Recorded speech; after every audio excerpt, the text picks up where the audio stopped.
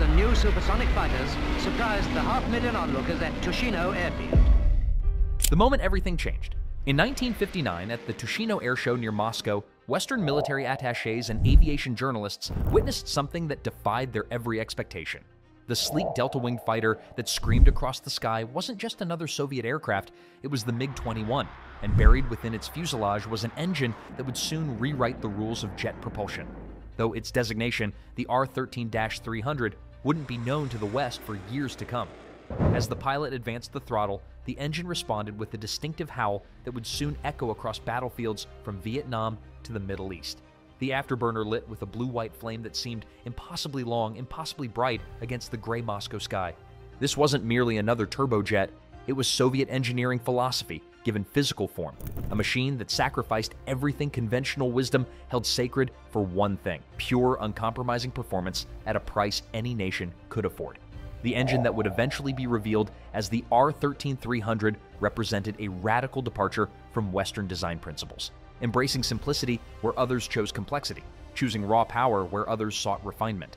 The gathered observers could only guess at the specifications of what they were seeing, unaware that this engine would eventually power more supersonic fighters than any other single jet engine design in history. What made this moment truly revolutionary wasn't just the technology on display, it was the philosophy behind it. While Western engineers pursued ever greater complexity in their quest for performance, the Soviets had chosen a different path entirely the Cold War crucible. Western jet engines of the late 1950s were like Swiss watches, intricate masterpieces of engineering precision built on centuries of industrial tradition. The Rolls Royce Avon powering Britain's Lightning interceptors featured sophisticated multi stage axial compressors. The General Electric J 79, America's premier fighter engine, utilized variable stator vanes and advanced metallurgy to achieve its impressive performance. These were engines that demanded respect, careful maintenance, and highly trained technicians. They were powerful, yes, but also complex, expensive, and unforgiving of neglect or imperfect conditions. Then the Soviet Union arrived with a philosophy forged in the crucible of different realities. Where Western engineers added stages for incremental efficiency gains, Soviet designers removed them for manufacturing simplicity. Where NATO sought theoretical perfection in controlled environments, the Warsaw Pact sought practical sufficiency in the harsh realities of dispersed airfields and conscript mechanics. This wasn't merely a different approach, it was an entirely different conception of what a military jet engine should be. Sergei Konstantinovich Tumansky watched this technological chess match unfold from his design bureau in Moscow, OKB 300, later known as the Soyuz plant. Born in 1901 in Minsk, Tumansky wasn't just another Soviet engineer. A former student of the legendary Vladimir Klimov, he had spent the immediate post war years meticulously reverse engineering the Junkers Jumo 004 and BMW 003 engines captured from the Germans. This experience taught him something crucial complexity wasn't always strength. The German engines, marvels of engineering though they were, had proven fragile and temperamental in Soviet hands. By 1956, Tumansky had taken leadership of the Bureau and inherited the task of creating an engine for the next generation of Soviet fighters. The MiG 19's Mikulin AM 5 had proven adequate but uninspiring, prone to compressor stalls and lacking the growth potential needed for truly supersonic flight. Tumansky asked the question that would define not just his legacy, but an entire philosophy of propulsion. What if we designed an engine that any factory could build, any mechanic could maintain, and any pilot could push to its absolute limits without sophisticated support infrastructure? Love history as much as we do?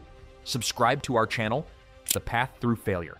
The Tumansky Design Bureau's journey to the R 13 began with the R 11, a design that taught valuable lessons through spectacular failures. Early prototypes tested at the Zhukovsky Flight Test Center between 1956 and 1958 suffered from chronic instability that would have ended careers in the West.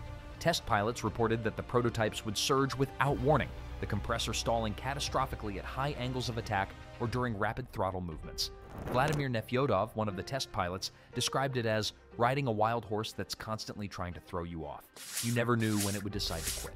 The fundamental challenge was achieving stable combustion across the entire flight envelope while maintaining the simplicity Tumansky demanded. His team, which included Viktor Chepkin and Alexander Sarkisov, many of them former aircraft mechanics who'd earned engineering degrees through night school, approached problems with practical solutions where others might seek theoretical elegance. The combustion chamber design went through 17 major iterations before achieving acceptable stability. Each failure taught them something new about the delicate balance between simplicity and functionality.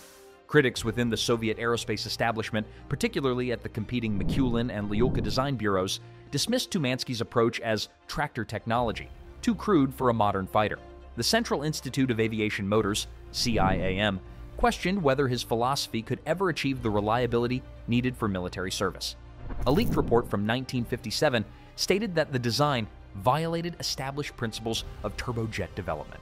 But here's where the story takes its first unexpected turn. Tumansky's team discovered that by accepting what Western engineers would consider unacceptable compromises, higher fuel consumption, lower compression ratios, shorter overhaul intervals, they could achieve remarkable stability across a wider flight envelope than anyone thought possible.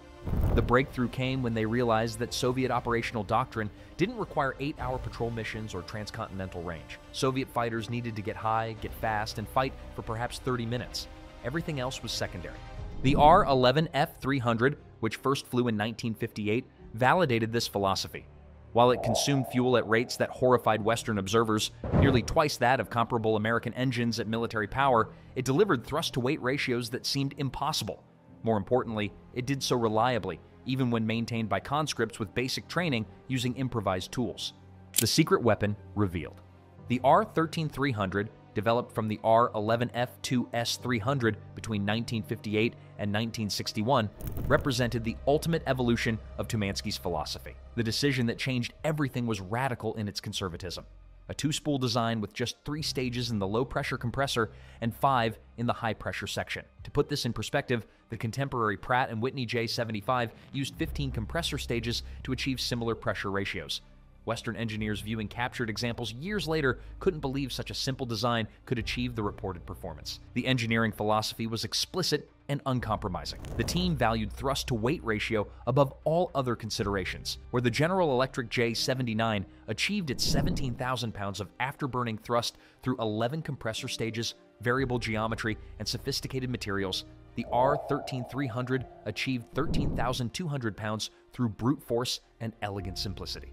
The entire engine weighed just 1,135 kilograms, giving it one of the best thrust to weight ratios of its era. The combustion chamber design was revolutionary precisely because it wasn't revolutionary at all.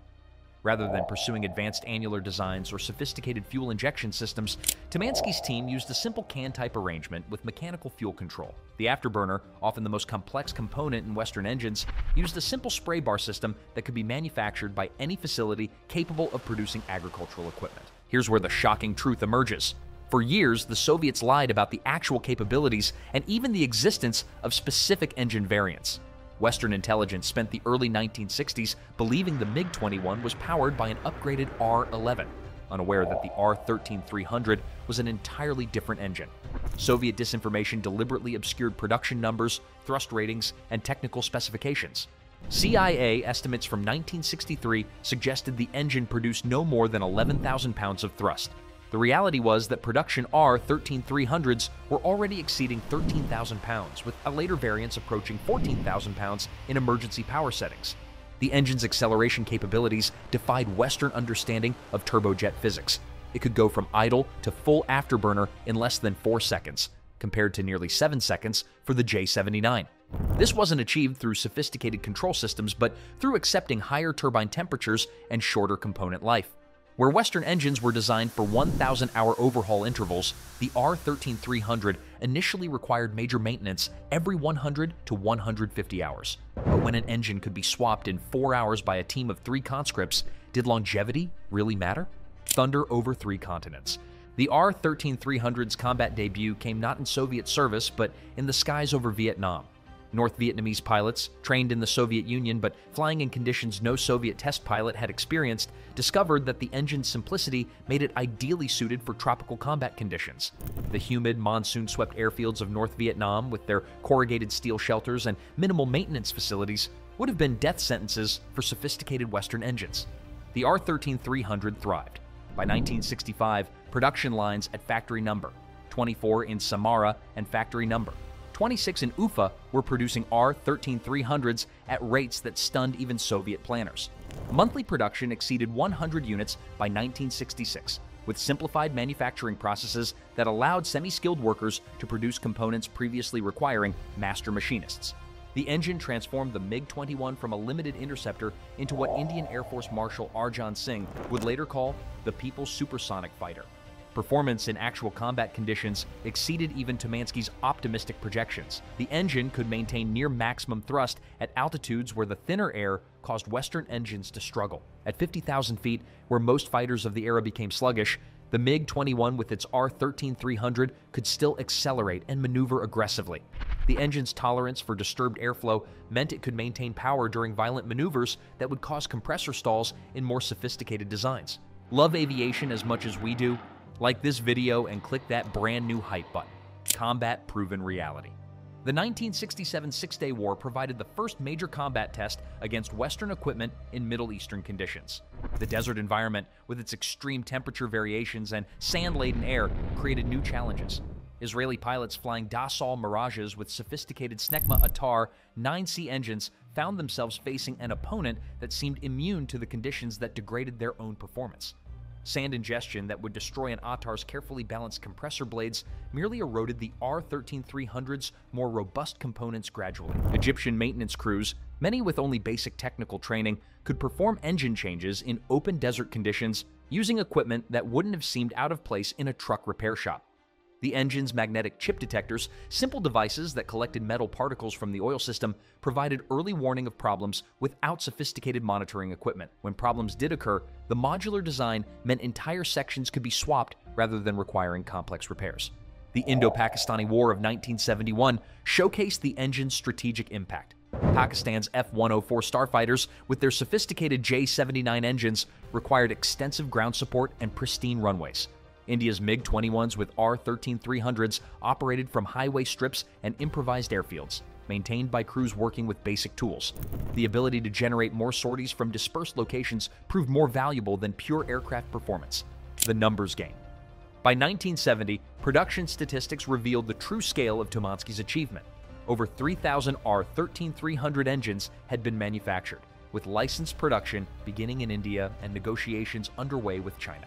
The cost per engine, approximately 270,000 rubles in 1970, was less than one third that of comparable Western engines. This wasn't just about building a cheaper engine, it was about democratizing supersonic flight.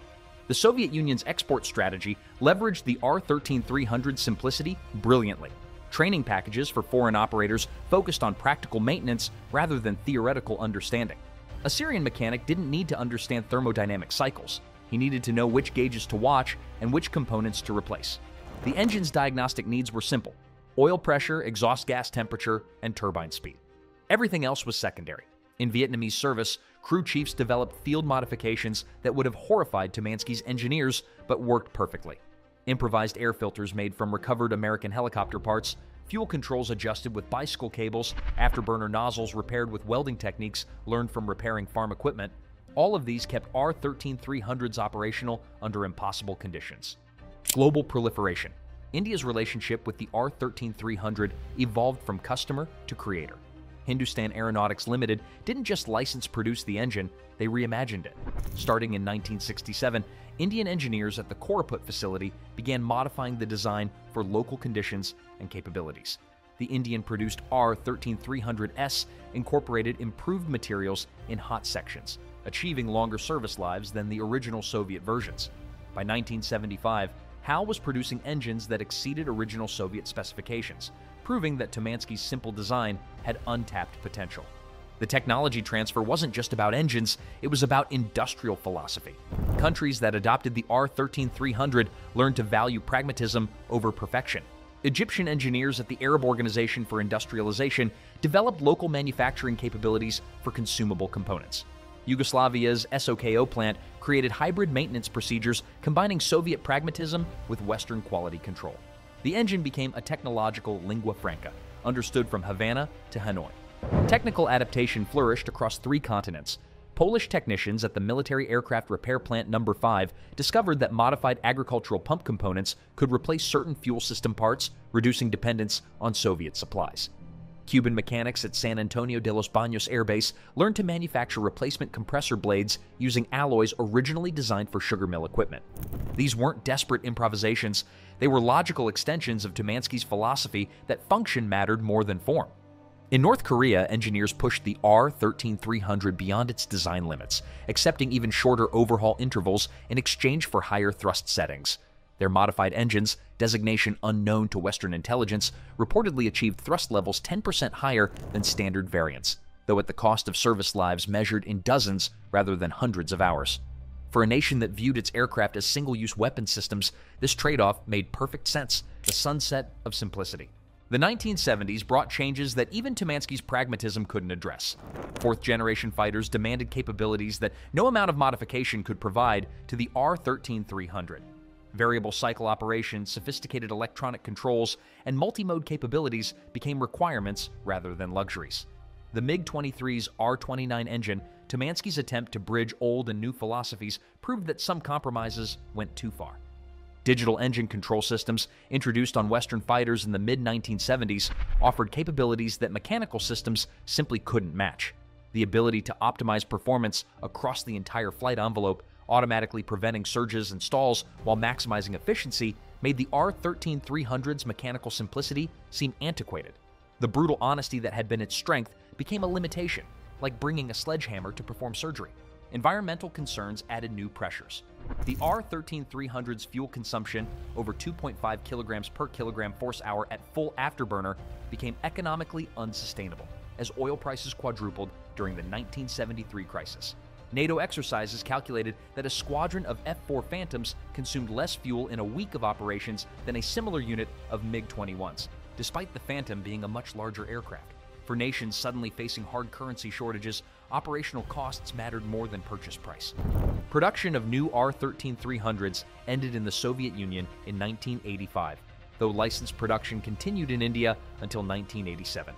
The last engines rolled off production lines not with ceremony, but with quiet efficiency, as factories retooled for the AL 31F and other engines of the fourth generation.